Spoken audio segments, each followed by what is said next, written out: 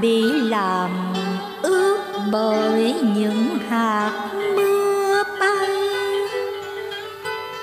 Lòng xe lạnh gợi nhớ về quê mẹ. Đô thị phồn quá ồn ào không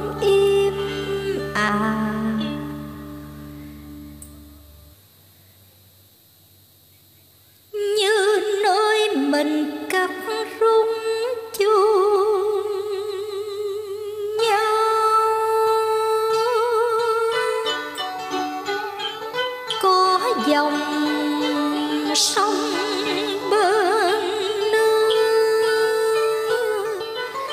Và có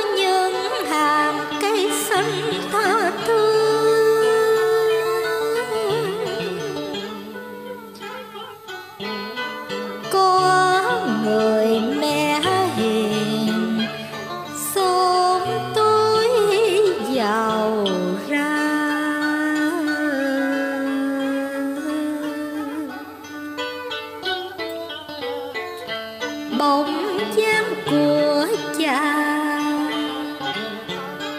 Nở nụ cười tươi, ngày con xuất giá theo chồng. Nhưng trong trái tim từng cơn đau buốt gái theo chồng cha mừng nhưng lo dần cứ lo.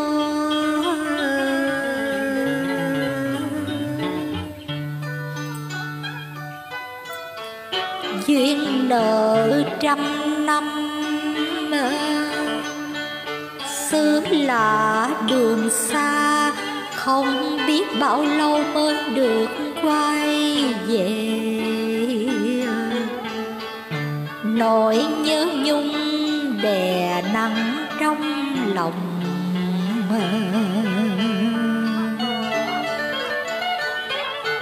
con chim đã đang gọi hoài sao em không chịu?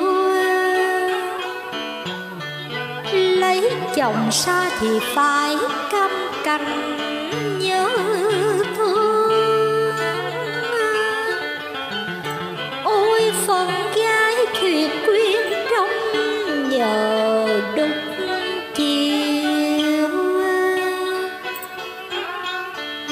chồng thương là hạnh phúc vô bờ.